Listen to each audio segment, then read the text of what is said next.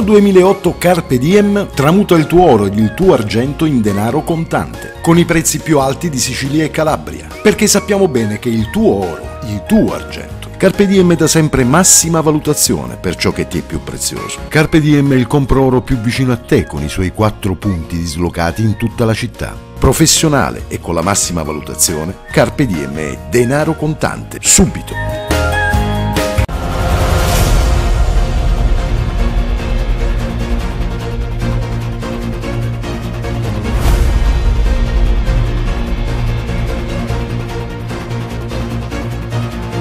Firmata la convenzione fra esercito italiano e comune di Messina, l'asilo Lupetto Vittorio sarà gestito da Messina Social City.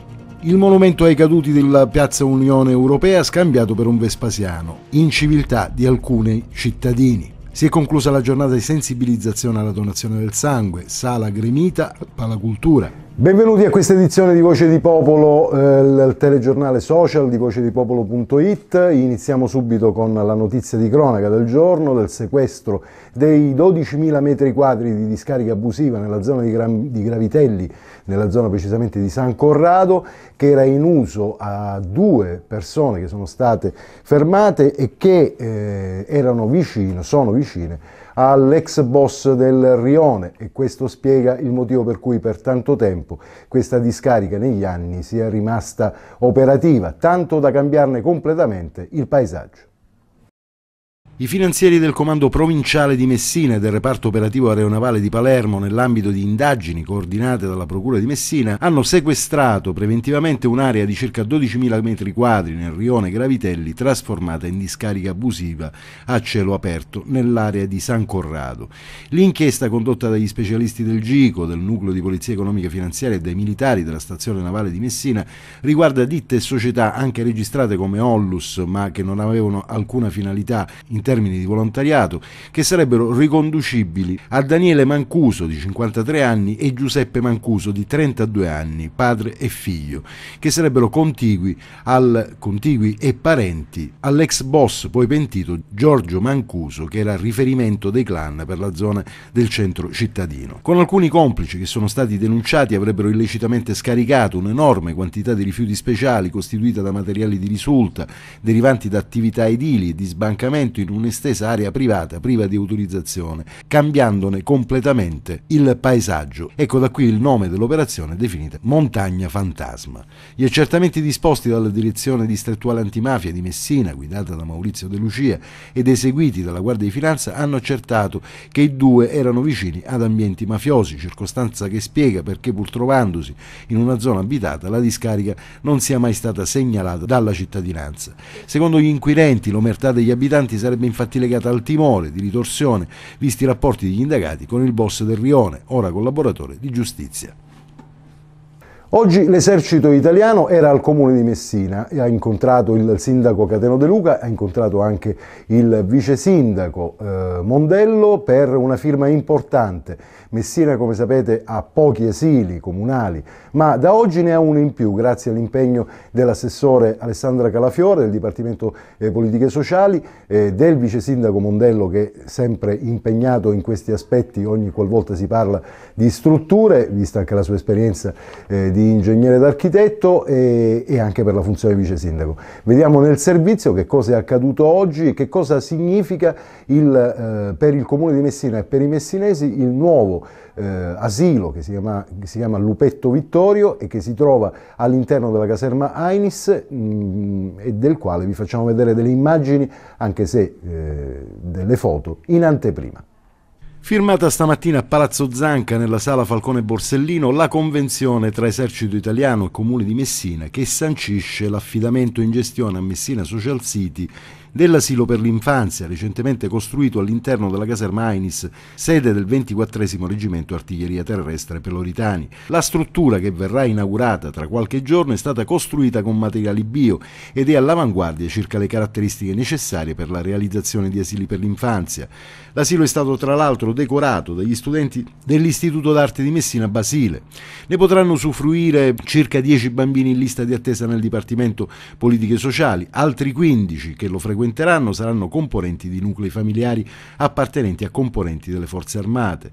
Grande soddisfazione del sindaco Cateno De Luca e del vice sindaco Salvatore Mondello che erano presenti all'incontro e che hanno siglato la convenzione con il colonnello Luigi Lisciandro, vice comandante della brigata meccanizzata Aosta. Anche l'esercito e la Brigata Osta in particolare eh, nella città di Messina ha il piacere di, eh, con la collaborazione del Comune, di dare avvio a questo progetto che già la Forza Armata ha attivato in altre città d'Italia a un asilo che eh, si trova all'interno del quinto reggimento Fanteria Osta e che vedrà la possibilità di eh, aderire all'interno di questo asilo sia figli di personale delle forze armate sia uh, figli messinesi e quindi utilizzeranno una bella struttura eh, realizzata secondo nuovi criteri e che eh, consentirà al personale militare e quindi civile di avere una struttura in più nella città di Messina. Sì, è una bella iniziativa, una realtà che abbiamo sposato immediatamente, anche perché si tratta di una struttura avveniristica ehm, con diciamo, le, do le, dotazioni all'avanguardia e quindi consente di avere un altro punto di riferimento per la, per la città, quindi per noi è una conquista importante e fa parte di un percorso che abbiamo tracciato. Protocollo d'intesa stamattina, comunque eh, la, la Brigata Osta è qui al Comune, si parla di un asilo. Sì, è un lavoro iniziato un po' di tempo fa, in perfetta sinergia insieme a tante altre attività che stiamo portando avanti con eh, l'esercito italiano e questa a mio avviso è un fiore all'occhiello soprattutto per l'esercito che ha realizzato un asilo che dal punto di vista progettuale non ha nulla da invidiare agli asili diciamo, esterni agli spazi militari, un asilo realizzato con tutti i crismi della B-architettura, eccellente in tutte le sue eh, componenti e vorrei mi piace ricordare che è stato realizzato, progettato interamente da, eh, dalle forze armate. Questo come dire, è un grande eh, onore per l'Italia che ha delle forze armate professionalmente molto elevate. In merito alla sinergia del Comune, eh, il Comune da subito ha attivato tutte le sinergie con eh, le, le presenze che sono sul territorio, è inevitabile non ragionare con chi sta sul territorio e soprattutto è inevitabile non ragionare con chi ha delle iniziative così pregnanti. L'asilo eh, prevede la, la, compresenza di eh, ragazzi figli di dipendenti ovviamente militari e anche di cittadini messinesi. Sarà dato in affidamento alla Messina Social City che si occupa eh, di asili nido e va a, a mettere in campo eh, una delle attività necessarie all'interno del, del comune, quindi rafforzare la presenza di asili nido usufruirà quindi a tariffa comunale? Sì, sì, si ragionerà secondo quelle che poi sono i, secondo i canoni e le graduatorie comunali, assolutamente. Sì, questo è un asilo che noi abbiamo, rispetto al quale ci siamo prodigati molto, anche perché strutturalmente è, una, è all'avanguardia nel, nel, territorio, non ha, non ha uguali proprio secondo me nel meridione. Per, per i materiali? Sì, sì, sì, proprio per come è stato realizzato, per come è stato anche organizzato all'interno, cioè, eh, diciamo, quindi questo veramente sarà un fiore all'occhiello per l'azienda. Quanti bambini riesce ad accogliere? Sì, eh, l'asilo riuscirà ad accogliere 25 bambini che saranno distribuiti così, 10 uffici che sono quelli che fanno riferimento al territorio comunale, quindi saranno, eh, eh, eh, ci saranno quelli che vengono presi dalle liste d'attesa degli altri asili, 15 sono i posti riservati invece specificatamente alle forze armate.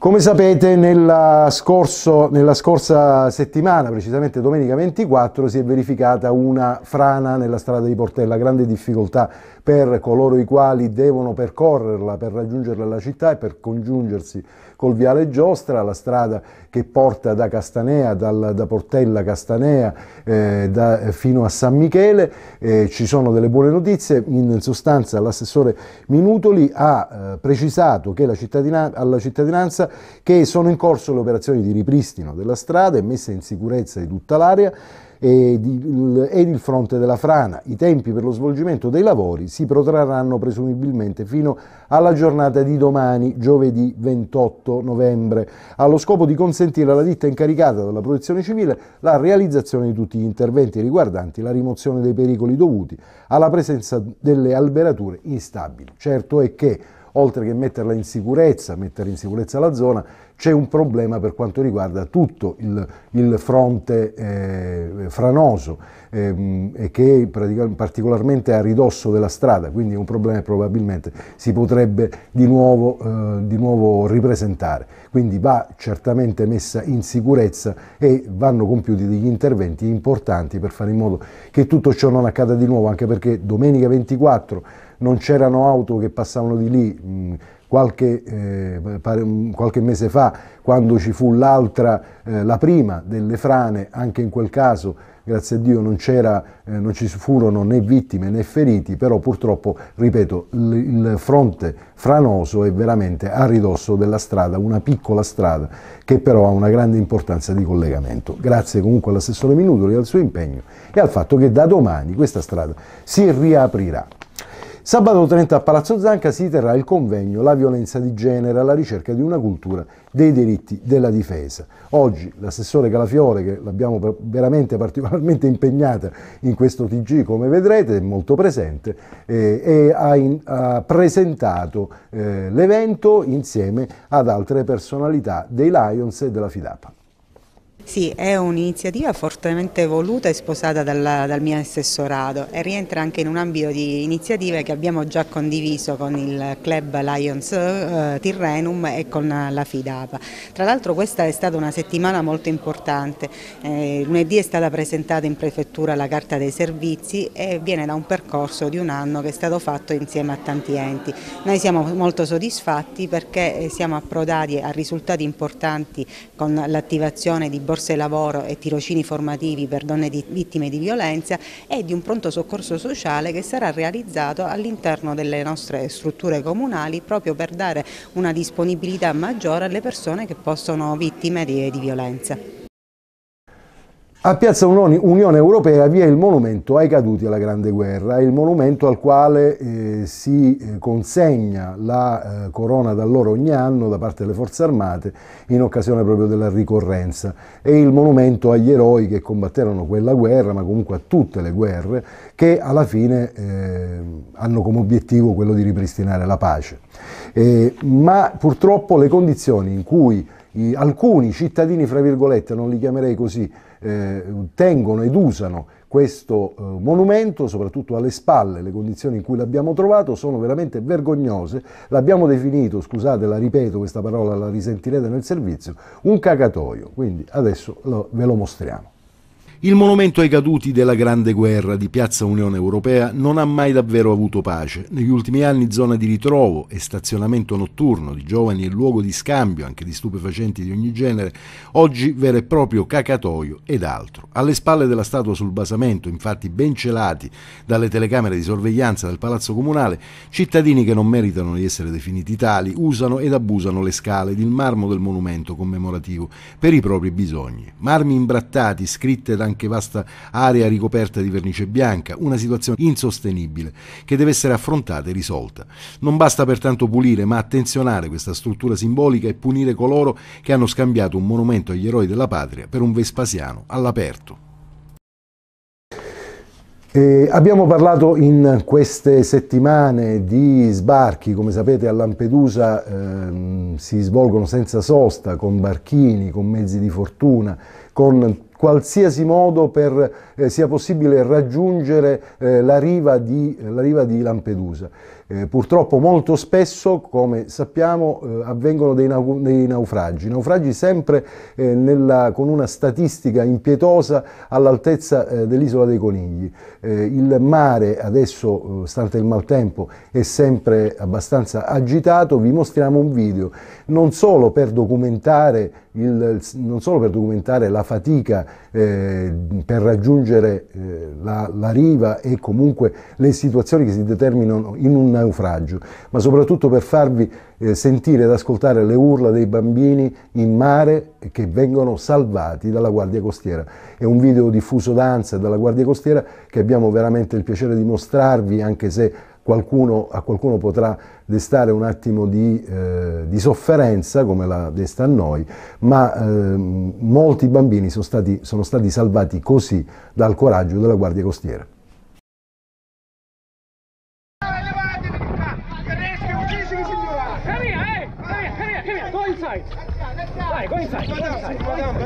Sit down, sit down, go!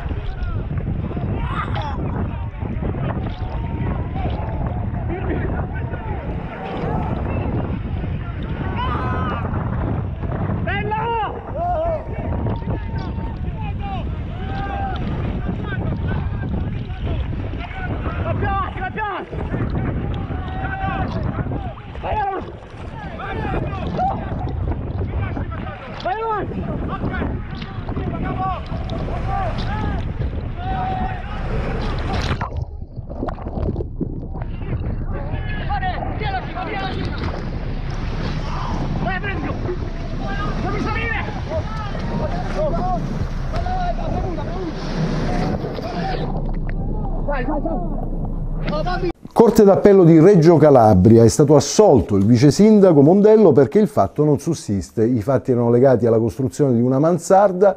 Eh, fi fortunatamente, finalmente per il vice sindaco, la vicenda si è conclusa in appello. Eh, come vedrete nel, nel, servizio non ci sono dichiarazioni di Salvatore Mondello. Schivo a queste, eh, a queste dichiarazioni, ma comunque con grande eh, soddisfazione e felicità ha accolto ovviamente la notizia, i nostri eh, complimenti e felicitazioni al vice sindaco. Nel tardo pomeriggio di ieri, martedì 26, la Corte d'Appello di Reggio Calabria, accogliendo le argomentazioni della difesa dell'architetto Salvatore Mondello, che ha reso spontanee dichiarazioni, ha assolto il professionista con formula piena. Il fatto non sussiste, riconoscendo la correttezza del suo operato. Dopo oltre sette anni, la Corte calabrese, ribaltando le sentenze di condanna dei giudici messinesi, ha messo fine ad un lungo calvario processuale. Il comune di Messina, anche dopo la nomina dell'architetto Mondello alla carica di vice sindaco ed assessore ai lavori pubblici, urbanistica e mobilità urbana, ha confermato la costituzione di parte civile deliberata dalla precedente amministrazione. L'architetto Mondello accusato di falsità ideologica commessa da privato in atto pubblico relativamente alla costruzione di una mansarda è stato difeso in maniera magistrale dal professor Carlo Taormina e dall'avvocato Giovanni Mannuccia, coadiuvati dal consulente tecnico di parte. In linea con il modus operandi che caratterizza la mia persona, ha sottolineato il vice sindaco, non ho nulla da commentare a meno della consapevolezza che si è chiusa una vicenda a dir poco surreale, soprattutto nella piena coscienza di aver sempre svolto la mia professione con correttezza e scrupolo. Oggi finalmente questo comportamento è stato confermato anche dai giudici. Facciamo adesso una piccola pausa pubblicitaria, 30 secondi e rientriamo, restate con noi.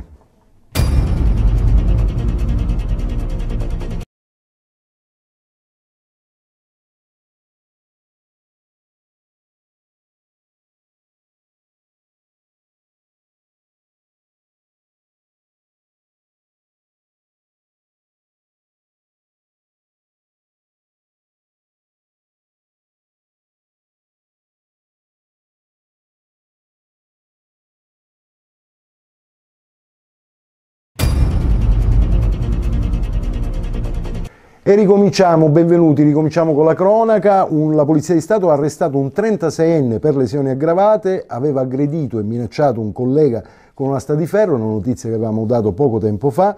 Nel pomeriggio di ieri i poliziotti della squadra mobile infatti hanno tratto in arresto Bombara, Sal, Salvatore Bombara, un messinese di 36 anni, ritenuto responsabile dei reati di lesioni aggravate e furto aggravato. Lo stesso è stato denunciando in stato di libertà per i reati di minaccia e danneggiamento. L'uomo è un operaio di una ditta di costruzioni che ha aggredito un collega con un'asta di metallo.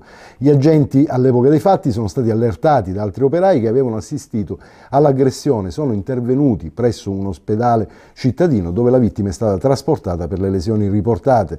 Sul posto è emerso che il 36enne a seguito di una lite per motivi di lavoro con il suo caposquadra lo colpiva violentemente e ripetutamente in più parti del corpo con un'asta in ferro utilizzata per delimitare l'area di cantiere, distruggendogli inoltre il telefono cellulare. La vittima, nonostante i colpi ricevuti, riusciva a rifugiarsi all'interno di un negozio, chiudendosi a chiave per evitare il peggio. L'aggressore, non riuscendo più a raggiungere l'oggetto della del, dei suoi colpi, dopo aver minacciato la vittima e dopo aver asportato alcuni arnesi da lavoro ed un bidone di gasolio di proprietà della ditta, si era allontanato a bordo della sua vettura. E la vittima, a seguito dell'aggressione subita, ha riportato ferite guaribili in 30 giorni. Eh, come sapete eh, nei giorni scorsi ha confessato, il, parliamo, voliamo un attimo a Partinico, ha confessato, e precisamente a Giardinello, l'amante di Anna Maria di Piazza, la trentenne uccisa sabato scorso dal suo amante con 10 coltellate, Oggi ci sono stati i funerali che si sono svolti nella chiesa madre. La donna era al terzo mese di gravidanza. La messa è stata oggi celebrata dal parroco Don Claudio Gulino che ha detto di fronte a, vic a vicende così terribili il silenzio sarebbe più eloquente, ma è un fatto troppo grave, c'è troppa violenza e la morte di Ana e del suo bambino meritano rispetto. Quello che è successo ci fa riflettere sul fatto che viviamo in una società che non sa più distinguere cosa è bene e cosa è male. Ci stringiamo attorno alla famiglia di Ana, ha detto il sacerdote, in questo momento di preghiera, l'affidiamo al Signore. Il feretro ha lasciato la chiesa tra gli applausi. E eh, da Partinico ci spostiamo a Catania per farvi vedere un video, questo video, e non è un evento esclusivamente catanese ed è anche per questo che ve lo facciamo vedere, una corsa automobilistica clandestina in notturna è stata interrotta dai carabinieri della compagnia di Palagonia, che hanno denunciato i due piloti, entrambi di 19 anni, per violazione alle norme del codice della strada.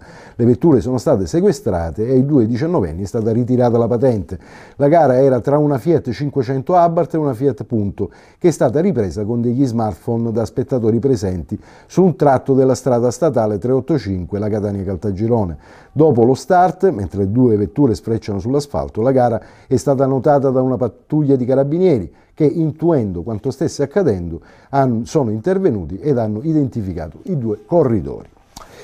Si è concluso oggi al Palacultura il meeting sulla prevenzione, uno stile di vita sano per una donazione sicura.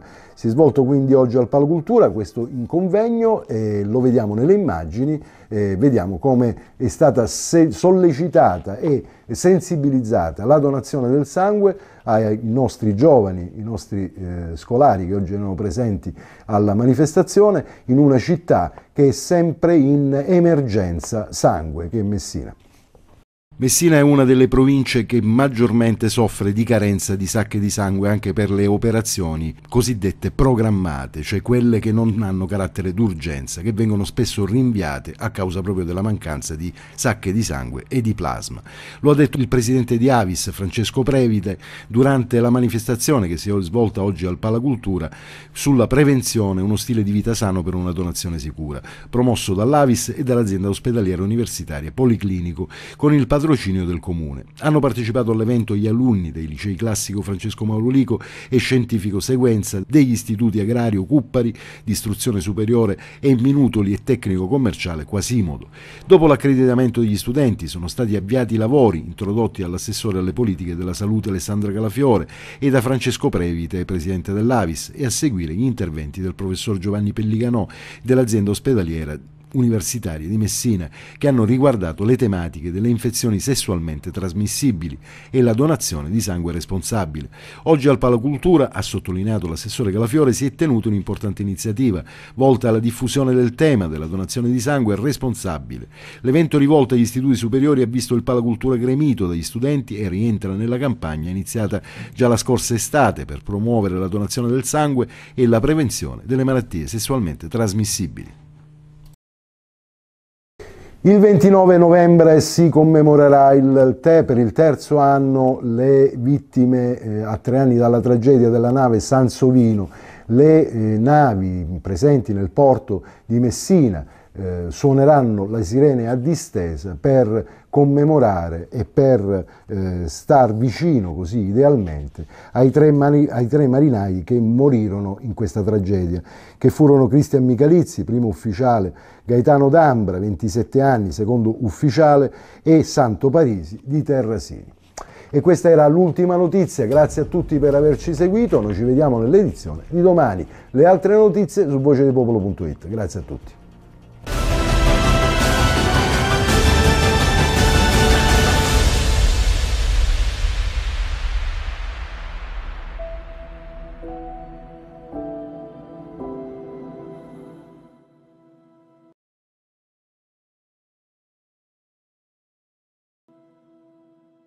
Dal 2008 Carpe Diem tramuta il tuo oro ed il tuo argento in denaro contante, con i prezzi più alti di Sicilia e Calabria, perché sappiamo bene che il tuo oro, il tuo argento, Carpe Diem dà sempre massima valutazione per ciò che ti è più prezioso. Carpe Diem è il compro oro più vicino a te con i suoi quattro punti dislocati in tutta la città. Professionale e con la massima valutazione, Carpe Diem è denaro contante, subito.